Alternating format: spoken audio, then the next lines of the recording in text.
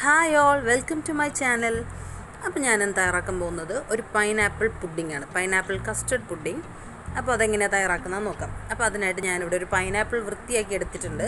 നമുക്കൊരു ഫുൾ പൈനാപ്പിളിന്റെ ആവശ്യമില്ല. ഹാഫ് എടുത്താൽ മതി. അപ്പോൾ ഞാനത് നന്നായിട്ട് കൊത്തി കൊത്തിയരിഞ്ഞിട്ടുണ്ട് ഇനി നമുക്കൊരു പാൻ അടുപ്പിൽ വെച്ച് ഈ പൈനാപ്പിളിനെ ഒന്ന് വേവിച്ചെടുക്കാം. അപ്പോൾ അതിലേക്ക് ഞാനൊരു അഞ്ച് സ്പൂൺ പഞ്ചസാര ആഡ് ചെയ്തിട്ടുണ്ട്. ഇനി ഇത് കുക്കാവുന്ന ടൈം കൊണ്ട് നമുക്ക് കസ്റ്റേർഡ് തയ്യാറാക്കാം. അപ്പോൾ അതിനായിട്ട് ഞാനിവിടെ അര ലിറ്റർ പാലെടുത്തിട്ടുണ്ട്. അപ്പോൾ അതിൽ നിന്നൊരു സ്വല്പം പാൽ മാറ്റി വെക്കുക. നമ്മുടെ കസ്റ്റേർഡ് മിക്സ് ചെയ്യാൻ വേണ്ടിയാണ്. ഇത്രയും മാറ്റി വെച്ചാൽ മതി. ഇനി നമ്മുടെ അടുപ്പിലേക്ക് നമ്മൾ ഈ- പാത്രം വെച്ചിട്ട് പാൽ നന്നായി ഇളക്കുക.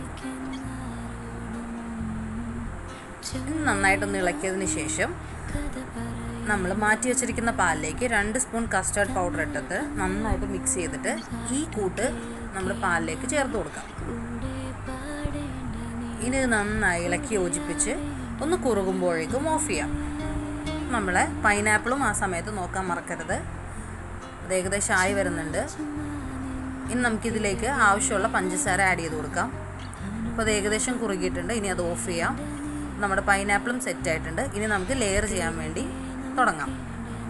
അപ്പോൾ അതിനായിട്ട് ആദ്യം തന്നെ ഞാനൊരു നാലോ അഞ്ചോ സ്ലൈസ് ബ്രെഡ് എടുത്തിട്ടുണ്ട്. അതിന്റെ അരികെല്ലാം മാറ്റി വെക്കുക. ഇനി നമ്മൾ ആ കസ്റ്റേർഡിൽ ഈ ബ്രെഡ് ഡിപ്പ് ചെയ്തിട്ട് നമ്മൾ ഓരോ ലെയർ സെറ്റ് ചെയ്യാൻ പോവുകയാണ് ചൂടോട് കൂടി ചെയ്താൽ അത്രയും സോഫ്റ്റ് ബ്രെഡിന് ഉണ്ടാകും. നമ്മുടെ ഫസ്റ്റ് ഫില്ലിങ്ങിന്റെ ലെയർ നമ്മൾ റെഡിയാക്കുകയാണ് ഇപ്പോൾ കട്ട് ചെയ്തൊക്കെ ബ്രെഡ് വെച്ചിട്ട് ഫുൾ സെറ്റ് ആക്കുകയാണ്.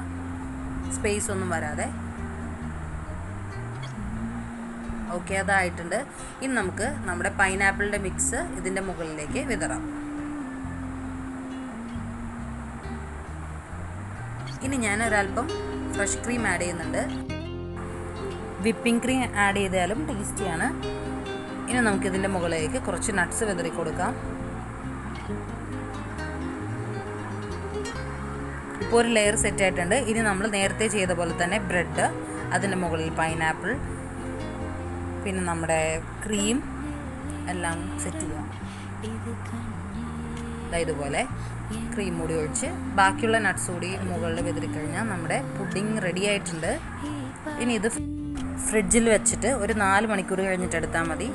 ഇപ്പോൾ ഏകദേശം നാല് മണിക്കൂറായിട്ടുണ്ട് നല്ല സെറ്റായിട്ട് കിട്ടിയിട്ടുണ്ട്. ഞാൻ ഇതൊന്ന് കട്ട് ചെയ്ത് കാണിച്ചു തരാം.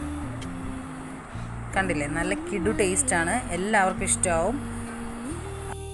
അപ്പോൾ എല്ലാവരും സപ്പോർട്ട് ചെയ്യുക. അപ്പോൾ ഇനി മറ്റൊരു സ്പെഷ്യൽ റെസിപ്പിയായിട്ട് വീണ്ടും കാണുന്നത് വരെ. ബായ്